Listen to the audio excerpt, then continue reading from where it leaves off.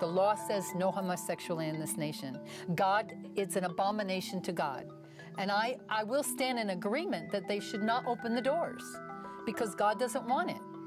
He wants it stopped. Repent for the forgiveness of your sin. God Loves Uganda is about the fastest growing religious movement in America, evangelicals who believe in Old Testament biblical law, and it's about their influence over policy and government in Uganda. My name is Roger Ross Williams, and my film is God Loves Uganda, and it's playing in the U.S. documentary competition at Sundance.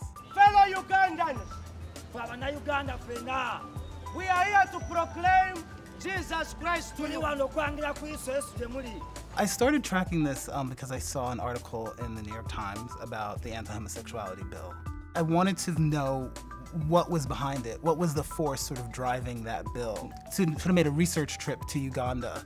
And I realized that Ugandan religious leaders who were the driving force behind a lot of the like hate speech. Most of them were trained in America, went to American theology schools. Most of them uh, had American churches who were backing their churches in Uganda. And I realized that the message wasn't coming from Uganda, that it was coming from like America's heartland.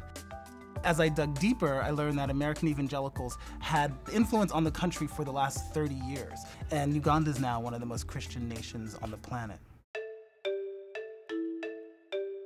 America represents wealth and success and sort of hope and the future.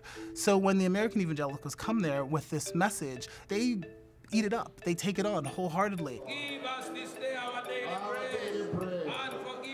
I wanted this to be a religious argument. I wanted the film to be to start a religious dialogue because the only way that the anti-homosexuality bill is not going to get passed is it's going to have to come from the religious world. It's going to have to come from an argument from the religious world.